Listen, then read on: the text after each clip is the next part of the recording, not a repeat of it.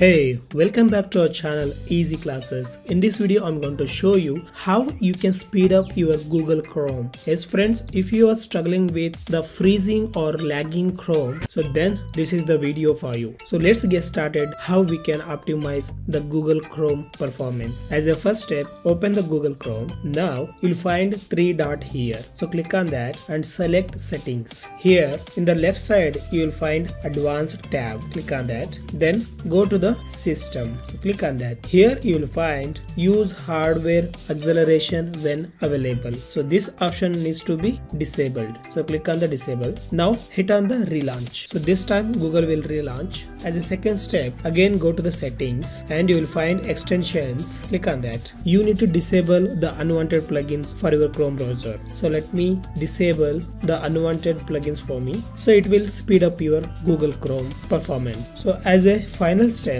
select on the three dot again and select settings. Now go to the advanced tab. So now go to the about Chrome. There you will find the update options. So I need to update my Chrome. So here if there are any updates available on the Chrome browser, so you should update it. It will automatically fix the slow performance for your Chrome browser. So once you have updated, restart your browser once.